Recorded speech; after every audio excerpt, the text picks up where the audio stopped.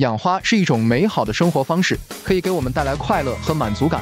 但是养花也不是一件容易的事情，很多花友可能会遇到这样的问题：为什么我的花总是长不好？为什么我的花总是枯黄、掉叶、不开花？为什么我的花总是被虫子咬得千疮百孔？其实养花的关键在于养好根系，根系是植物的命脉，它负责吸收水分和营养，支撑植物的生长和开花。如果根系发育不良，那么植物就会出现各种问题。所以养花先养根，才能让你的花茁壮成长。绿油油的，特别喜人。那么，如何才能养好根系呢？今天就给大家分享五大技术要点，让你轻松养出爆盆根系。一、选择合适的土壤。土壤是植物生长的基础，选择合适的土壤对于根系的发育至关重要。一般来说，土壤要具备以下几个特点：疏松透气，土壤要有良好的通气性和排水性，避免积水和缺氧导致根系腐烂；有机质丰富。土壤要有足够的有机质，提供植物所需的营养和微生物活性。pH 值适中，土壤要有适宜的酸碱度，一般以中性或微酸性为佳，过酸或过碱都会影响根系的吸收能力。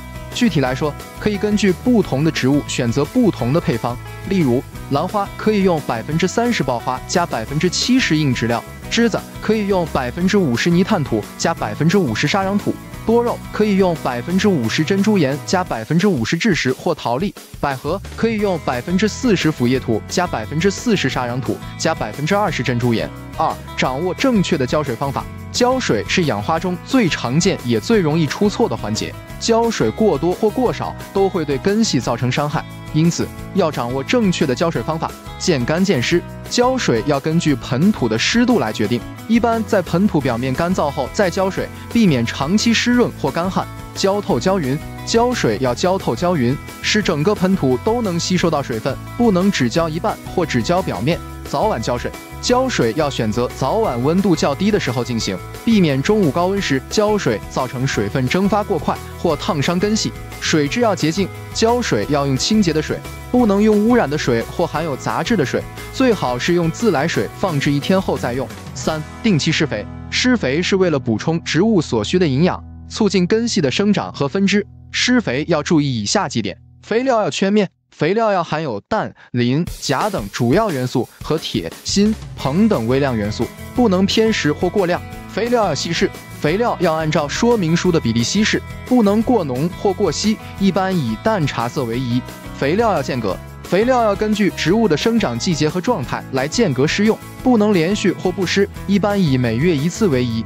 肥料要浇透。肥料要在浇水后施用，使肥液能够渗透到根部，不能只停留在表面或底部。四、适时换盆，换盆是为了给植物提供更大的生长空间和更好的土壤环境，有利于根系的扩展和更新。换盆要注意以下几点：选择合适的花盆，花盆要根据植物的大小和习性来选择，一般比原来的花盆大一号或两号即可，不能过大或过小。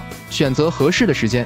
换盆要在植物的休眠期或生长初期进行，避免在开花期或结果期进行，否则会影响植物的正常生长。处理好根系，换盆时要将植物轻轻拔出，用清水冲洗干净根系，将枯根、空根、老根、烂根等剪掉，消毒后阴干，填充好土壤。换盆时要先在花盆底部铺上一层排水层，然后填充好土壤，将植物放入中央，固定好根系，再填满土壤，拍实。五、加强通风。通风是为了给植物提供新鲜的空气和适宜的温湿度，有利于根系的呼吸和代谢。通风要注意以下几点：避免直风。通风要选择有微风或无风的地方，避免直接吹到植物上，否则会造成叶片干枯或落叶。避免闷气。通风要保持空气流通，避免在密闭或阴暗的地方放置植物，否则会造成根系缺氧或发霉。避免温差。通风要注意温度变化。避免在太阳晒过后突然移入阴凉处或反之，否则会造成植物受冻或中暑。以上就是我分享的关于养花如何养出好根系的五大技术要点，希望对大家有所帮助。